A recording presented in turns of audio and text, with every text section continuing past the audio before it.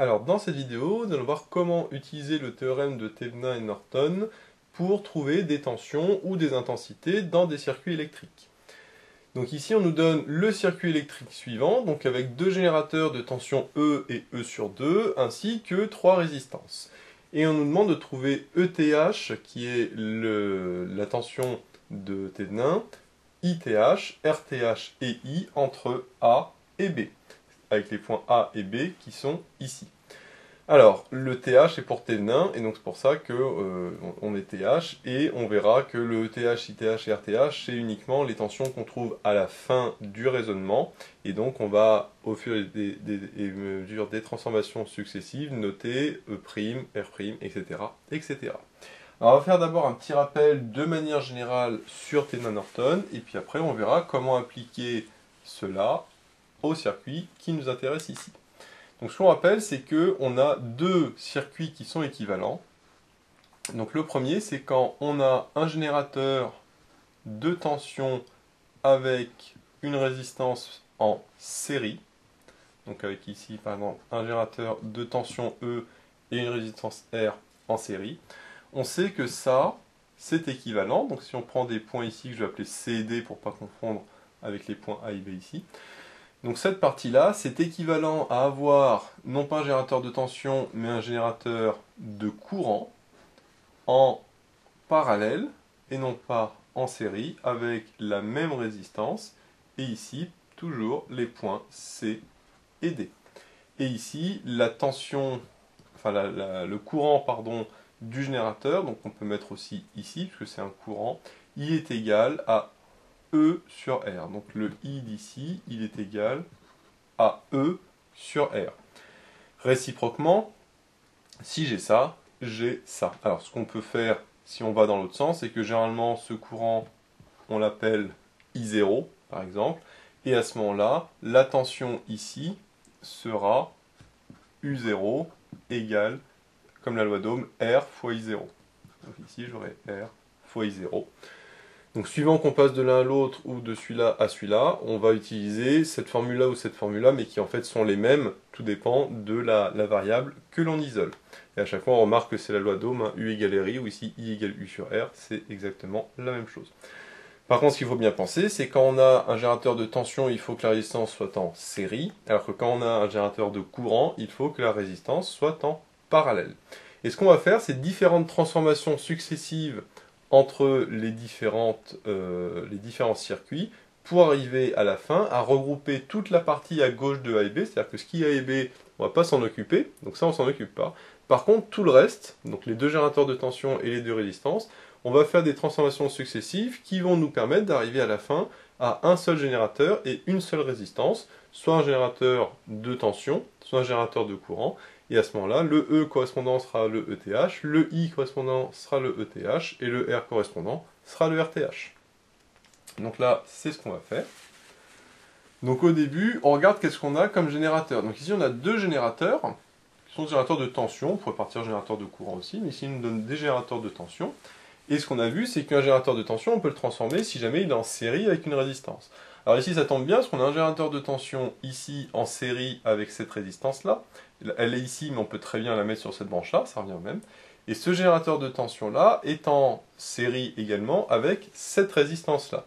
Donc ici, c'est très simple, puisque on a à chaque fois un générateur de tension en série avec une résistance, et donc je vais transformer les deux d'un coup, puisque ici j'ai deux générateurs. Donc plutôt que faire en deux étapes, je vais faire en une seule étape.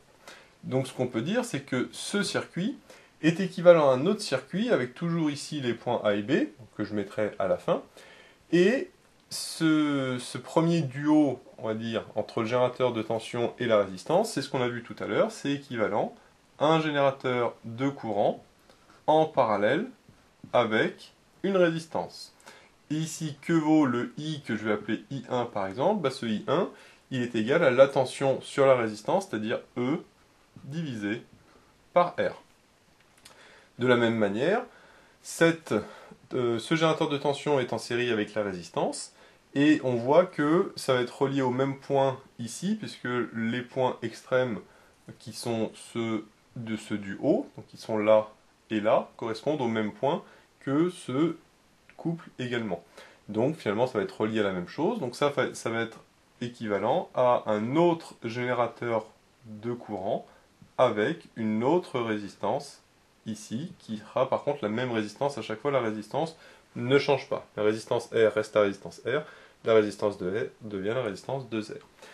Et là, par contre, j'ai un I2, donc là, je vais le noter I2, je vais marquer au-dessus. I2 est égal à quoi? C'est égal à la tension divisée par la résistance, c'est-à-dire E sur 2 divisé par la résistance, qui est égale à 2R.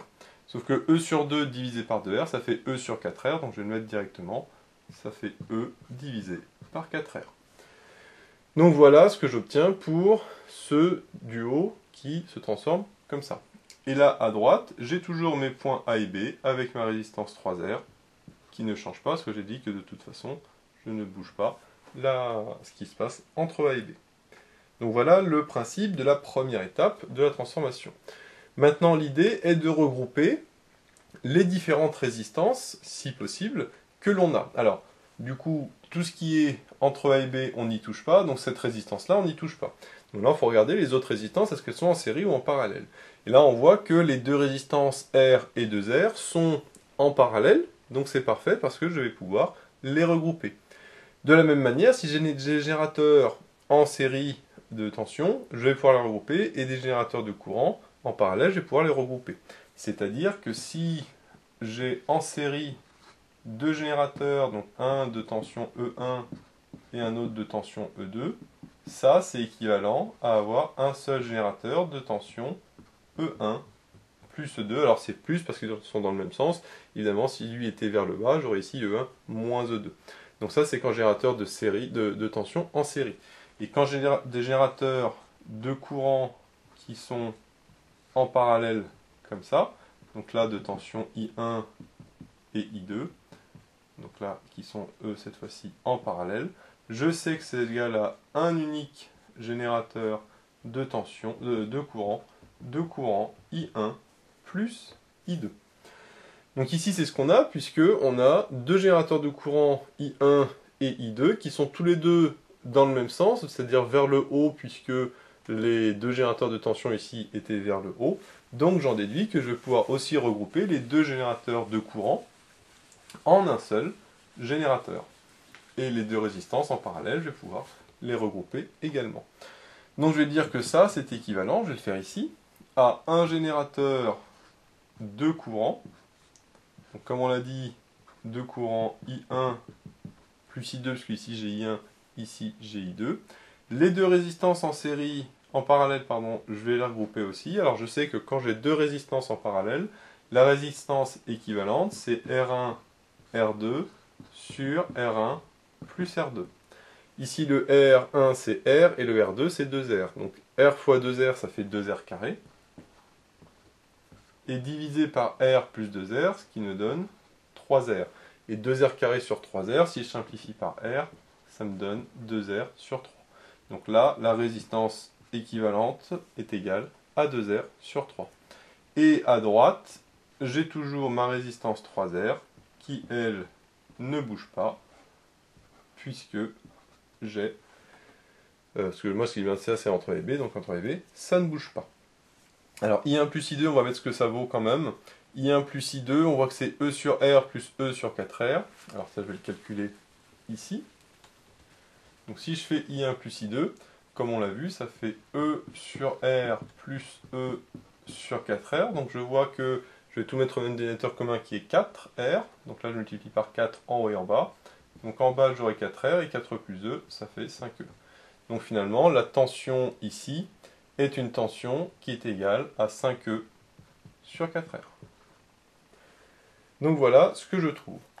Et là, j'ai terminé puisque moi, ce qui m'intéresse, on a dit, c'est tout sauf entre A et B. Et si je cache ça, je vois que je n'ai plus qu'une seule résistance avec un seul générateur. Donc là, j'ai terminé puisque je ne peux pas regrouper de résistances ou de générateurs en même temps puisque j'ai plus qu'une seule résistance et qu'un seul générateur.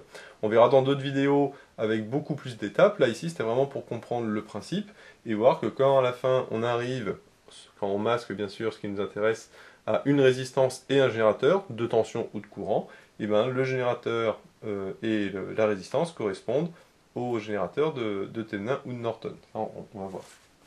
Alors, maintenant, on va pouvoir répondre à une partie de la question qui était de donner le ETH, le ITH qui est plus souvent noté IN pour Norton, mais on pourrait donner des fois, c'est noté ITH, ça dépend.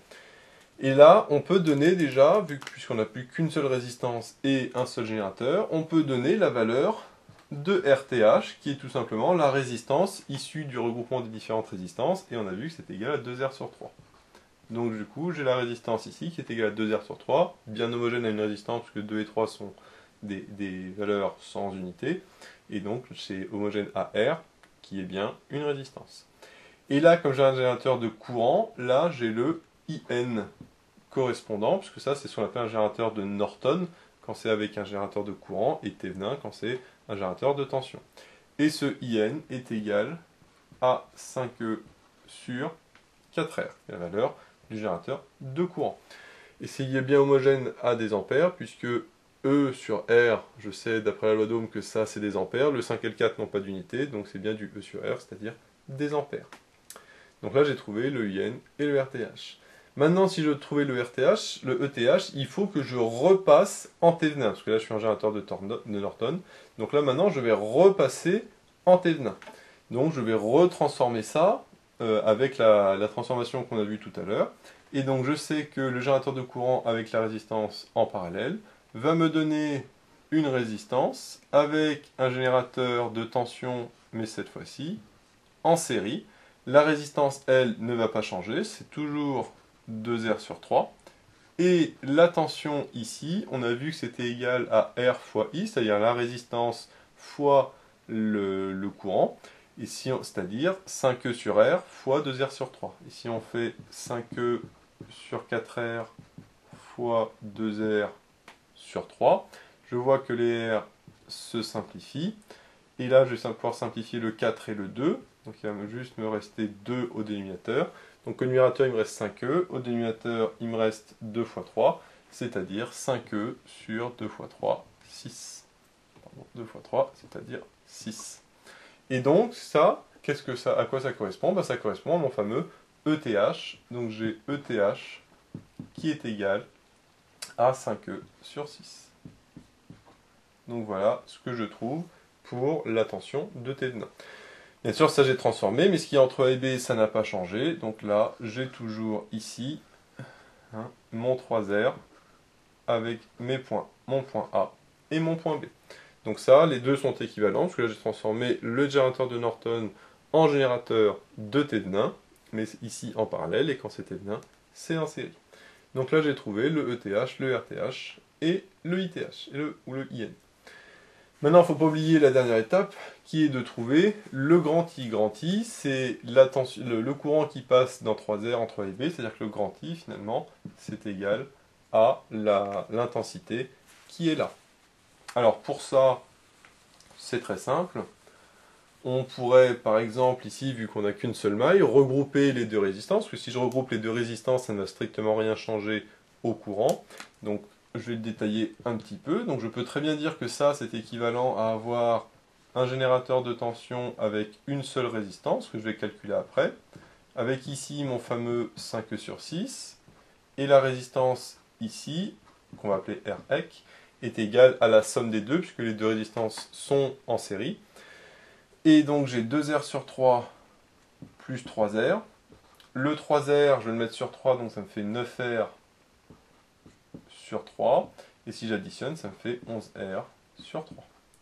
Donc là, j'ai mon R équivalent qui est égal à 11R sur 3. Par contre, le I, lui, n'a pas changé, puisque, comme je suis dans une seule maille, et eh bien, le I, le courant, est le même partout, même si je regroupe les deux résistances, ça ne change pas. Maintenant, je peux utiliser la loi d'Ohm, qui me dit que I, enfin, la loi d'Ohm qui me dit que I est égal à U sur Rec, avec le U qui est la tension aux bornes du, de la résistance, que c'est la loi d'Ohm. Là, le U est dans ce sens-là, puisque le I est, dans le, est vers le bas. Mais d'après la loi, la loi des nœuds, j'ai U qui est égal à 5 sur 6, et le Rec qui vaut 11R sur 3.